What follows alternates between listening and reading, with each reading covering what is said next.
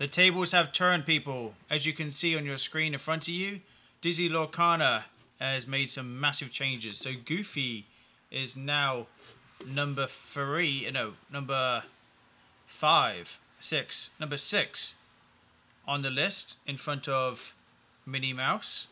Uh, we also have Anna True Hearted is number five. So we knew that this would happen. And we can see the Queen has dropped all the way down. Second Star to the right has dropped all the way down. It's only worth $110 right now. Market value 187 but people are listing it for 110 So people will buy it for 110 um, Look at this family, which I have.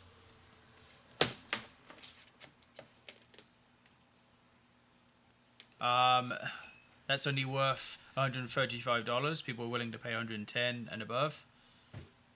Or sellers are willing to sell it for 110 and above to get rid of it.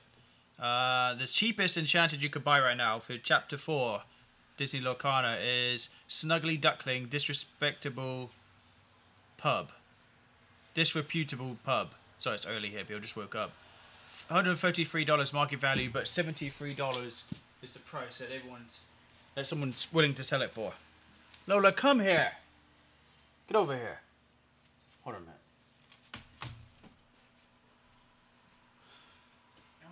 Let's go.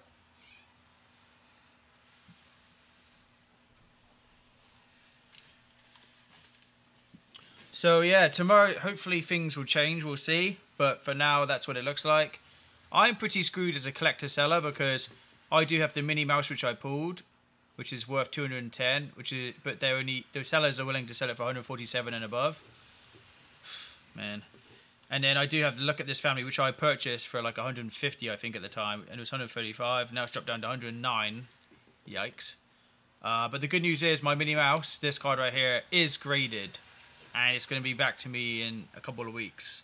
And hopefully it's a 10. If it's a 9 or an 8, I'm going to be pretty pissed because it's already not worth too much. Even though, look, median value is 250. The last one sold for 150.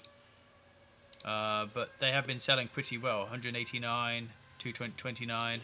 Let's go ahead and look at the uh, the Ariel. This one is worth $388. However, the cheapest you can get it for right now is $310. And it's a beautiful card, people. Um, Ariel Sonic Warrior. This is one of my chase cards. Couldn't pull it, but it's still nice.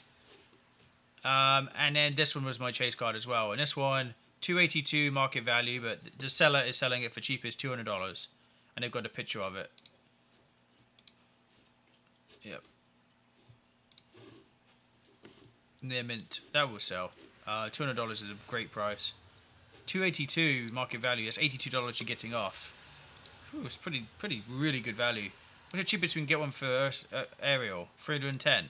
Yikes. Printing defect. Ariel Sonic Warrior. Floodborn Hero Princess. The defect is the line in the middle, is that it? Uh, a print line can be on the face of the card. So it's got a print line. If anything, that should devalue it, but they're saying it's going to increase, possibly? Print, that's a defect, yeah. That's definitely a flaw, I'd say. You want it to be mint condition. You can't grade it with a line through it. It's going to come back with like a 7 or a 6.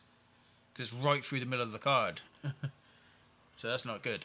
Alright people, thank you for sticking around this long. Uh, see you in the next one. If you are new, subscribe of course. I do cover Disney Lorcana for like collecting, investing, and and just keeping up with the market value of them. And I'll see you next one. See you, see ya. Bye bye bye.